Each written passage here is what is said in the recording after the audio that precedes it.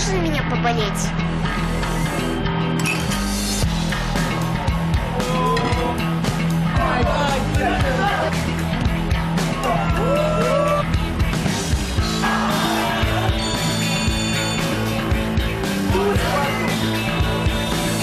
Конечно, приду, сынок. У меня матч поважнее сегодня.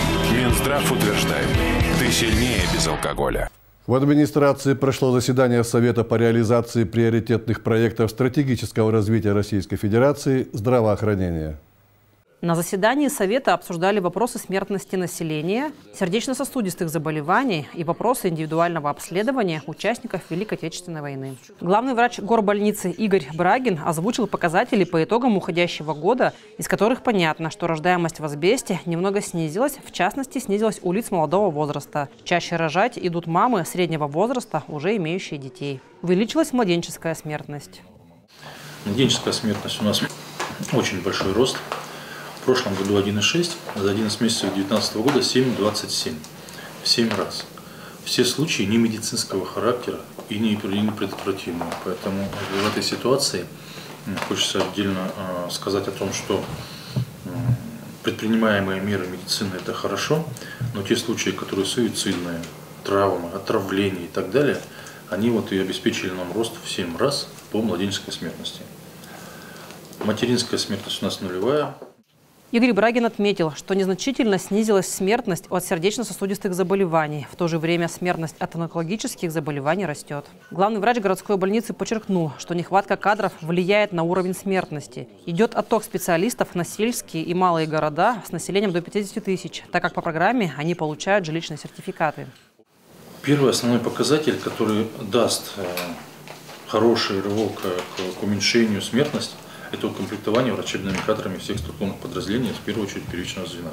Привлечь, чтобы сюда специалистов, э, ну, а, это нужно жилье, и б, достойная заработная плата. Если заработную плату мы обеспечиваем, э, она у нас э, превышает дорожную карту по врачебному посреднему персоналу, то с жильем все знают, ситуация в городе достаточно сложная. Но всего, всего нам надо привлечь вот на сегодняшний день порядка 130 врачей-специалистов если укомплектоваться до 100%. Что касается снижения смертности от сердечно-сосудистых заболеваний, то в поликлиниках работают кардиологи и терапевты. В стационаре работают два первично-сосудистых отделения по профилям кардиология и неврология. С палатами интенсивной терапии, с набором необходимых лекарственных средств, лабораторными и инструментальными исследованиями.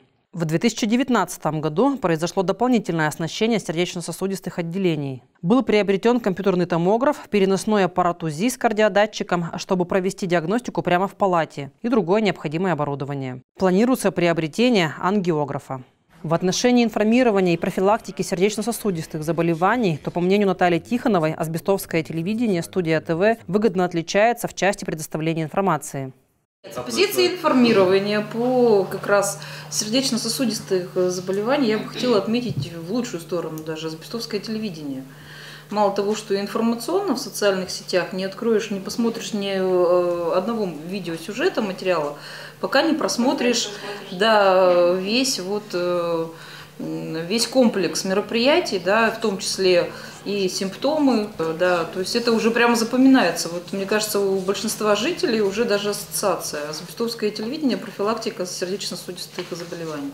Но это очень хороший опыт, и правильно его надо использовать и в других средствах массовой информации, на промышленных предприятиях. Ну, я думаю, что эффект тоже есть. Сегодня каждый житель, кто смотрит новости, он уже ориентируется и по симптомам, и по оперативности, что необходимо делать в первую очередь.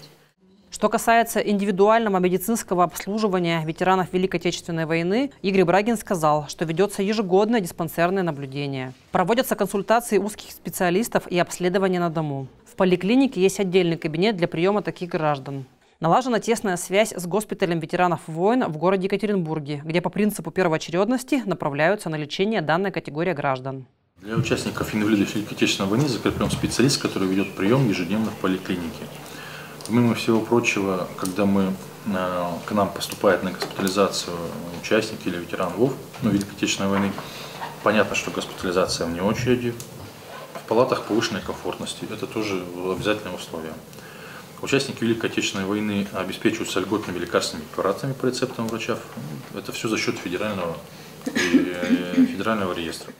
Данная категория граждан в 2020 году будет обследована дважды в год всеми необходимыми специалистами. Обратить особое внимание и не оставить без внимания ни одного ветерана, ни одного участника, да, ни одного человека, который соотносится с категорией приравненных. Поэтому, Игорь Вячеславович, конечно, здесь особое внимание. С учетом возраста мы это тоже прекрасно понимаем. Конечно, к медицинскому обследованию и оказанию помощи в первостепенном порядке. Случае неполучения соответствующей помощи необходимо сразу сообщить главному врачу горбольницы Асбеста Игоря Брагину для выявления лиц, нарушивших выполнение приказа президента и недопущения подобных случаев. Юлия Иванова, Андрей Осипов, Новости ТВ.